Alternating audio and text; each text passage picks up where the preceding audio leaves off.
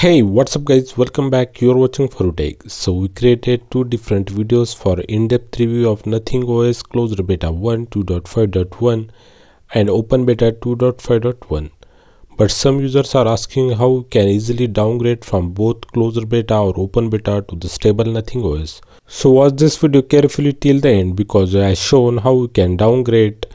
Does this downgrade will erase all your data or not and to which nothing os stable version your device will be downgraded. So without wasting any time, let's get started. On a new adventure.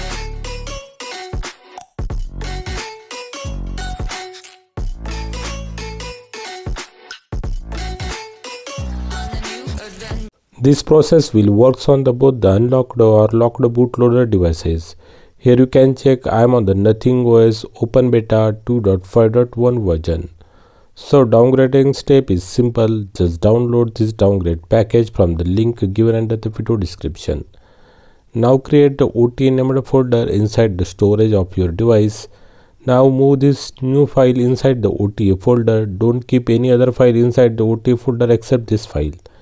Next open the dialer and there type star hash star hash 682 hash star hash star. You will get this manual updater screen your downgrade package will automatically gets loaded inside the updater. You don't need to do anything. Directly just tap on the apply update from the select option. Now flashing of new downgrade package will start. This process will take 15 to 20 minutes. Once your flashing gets done you get the prompt update successful tap reboot phone started to boot. Meanwhile it will shows the wiping screen after nothing logo. Means whole data will be get erased after flashing of this downgrade package. Phone started to boot into the new setup screen. We completed the setup. Now let's check out to which version our device got downgraded.